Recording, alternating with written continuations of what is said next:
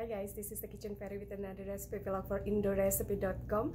For today's recipe, it is Szekelykaposzta. It is Hungarian dish uh, and it's so delicious. Um, it is with sauerkraut. If you like sauerkraut, you might want to try this recipe. Check out the full video and I'll see you soon again. Bye!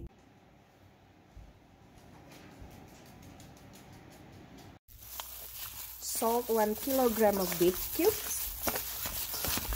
And then we're gonna coat it with enough flour.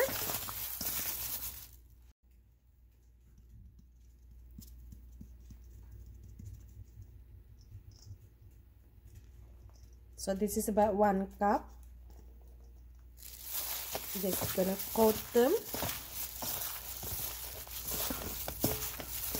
And then we're gonna brown these beef cubes on our instant pot using the saute option with a little vegetable oil.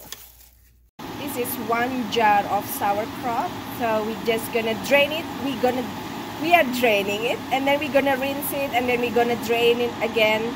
You want it wash out the vinegary or the brine that they use in the jar.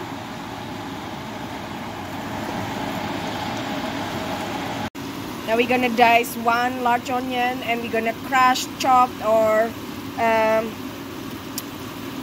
dice four garlic maybe about five garlic. This is rather big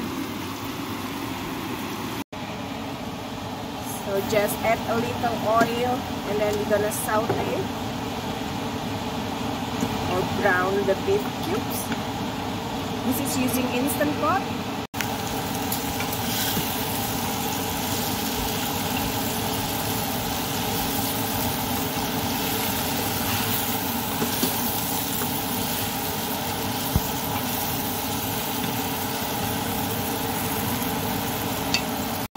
Once brown, take out the beef and then using the same pot, we're gonna add a little bit more of uh, oil and then we're gonna saute our garlic and onion.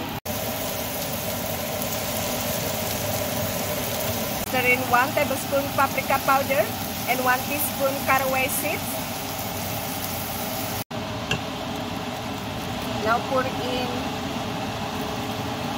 beef stock and add in our meat back into the pot.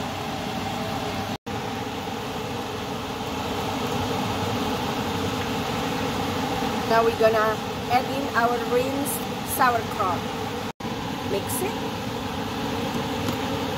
And if needed, we're gonna add in more beef broth.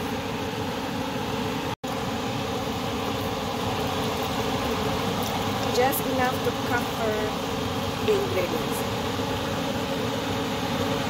Now cover the instant pot with the lid and we're gonna thicken this with sour cream later on once it's cooked for 40 minutes.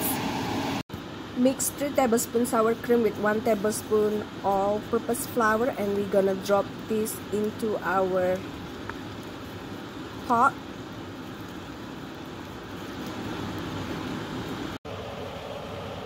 Once the Szekelykaposzta is cooked, take uh, open the lid. Now we're gonna add in our mixture of sour cream and flour just mix in.